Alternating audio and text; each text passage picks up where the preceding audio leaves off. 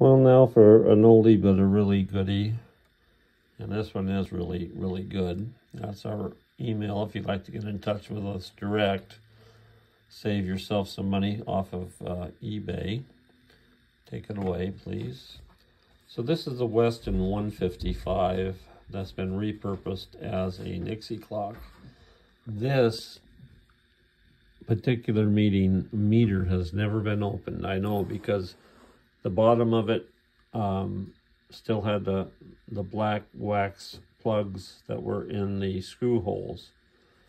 This is the finish that it came in. It is absolutely perfect.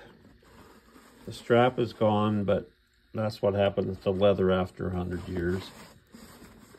turn it back around, and then I'll show you the reason why this, I mean, you see my hand. Let me show you the reason why.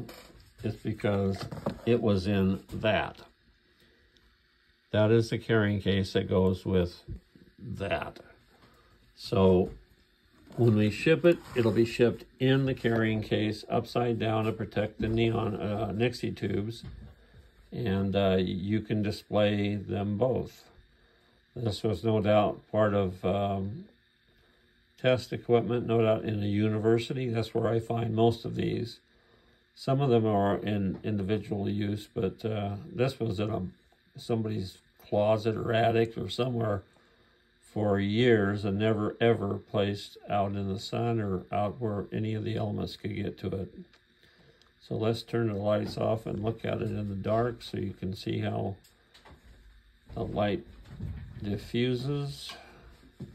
You can see it's got light down below coming from the four RGBs, one in each corner of the Weston AC ammeter faceplate. And uh, that's what it does. So you've got six RGBs up on top, four inside, and a never ever changing color scheme. So thank you very much for your time, and uh, I hope you buy it.